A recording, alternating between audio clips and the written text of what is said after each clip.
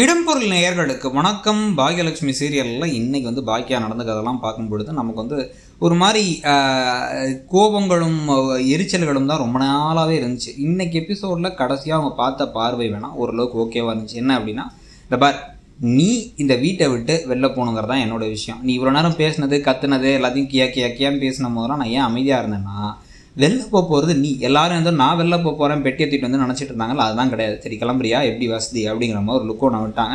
இன்னும் கொஞ்சம் இன்டென்ஸாக அந்த லுக் இருந்திருக்கலாங்கிறது வேற விஷயம். ஆனால் இது நாள் வரைக்கும் இருந்து அப்படி திரு திருன்னு பெக்க பெக்கன்னு முடிச்சுட்டு எதுவுமே பதில் பேசாமல் இருந்ததுக்கு இது பரவாயில்லன்னு தோணுச்சு.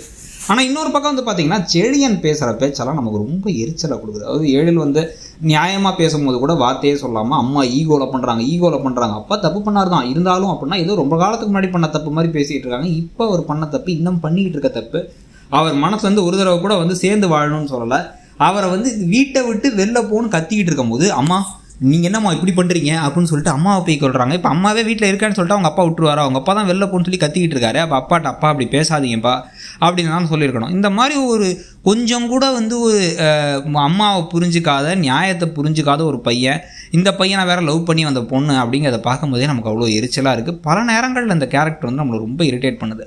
இப்பயும் வந்து அவர் பேசாமல் வந்து அவருக்காக திருப்பி வந்து பாக்கி அந்த வீட்டுக்குள்ளார இருந்து இவங்க எல்லாத்துக்காகவும் இருந்து செடி எனக்குலாம் வந்து சமைச்சு இது காசை கொட்டி வந்து உ- உழைப்பை கொட்டி எல்லாம் பார்த்துக்கிட்டாங்கன்னா கண்டிப்பாக நமக்கு எரிச்சலாக தான் இருக்கும்.